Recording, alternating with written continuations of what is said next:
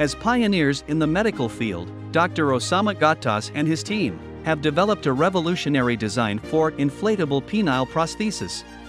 And it will make inflatable prosthesis implantation an easier process for younger generations of doctors.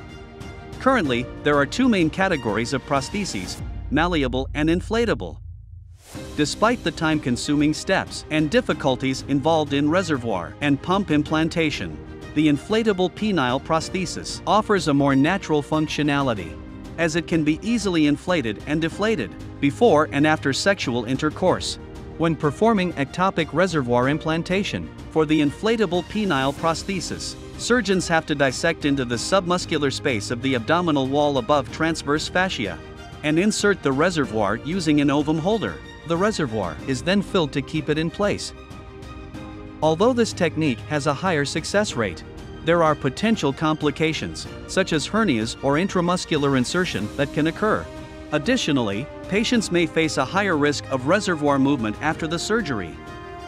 Dr. Ghattas has addressed these challenges by creating a new prosthesis that simplifies the implantation of the reservoir, as it incorporates adding a surgical thread attachment site to the top of the reservoir.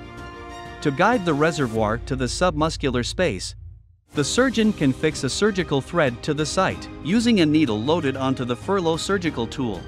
The Furlow technique offers a smoother and more precise positioning of the reservoir, in contrast to traditional implantation methods.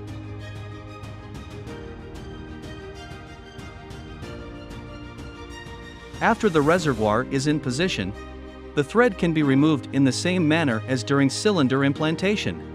The thread can also be used to fix the reservoir in its position. By making a small incision at the exit point of the thread. And then the thread is tied beneath the skin to secure the reservoir in place and prevent it from slipping or moving. The wound is then closed with surgical stitches.